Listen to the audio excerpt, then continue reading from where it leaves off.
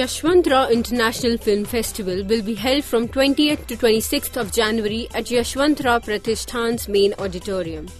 Pune Film Foundation will be in association with this festival along with the government of Maharashtra. The festival, which is celebrating its second year, will screen films in varied languages.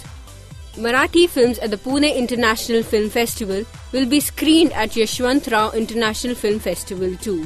A workshop on Choose Your Format, film or digital, held by Ujwal Nirgudkar, will also be a part of this festival.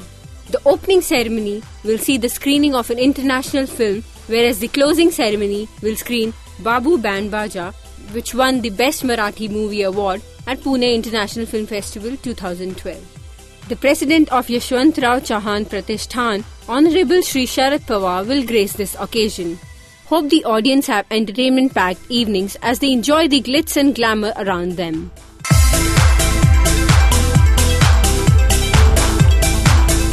This is Vaibhavi Pradhan for Rajshri.com.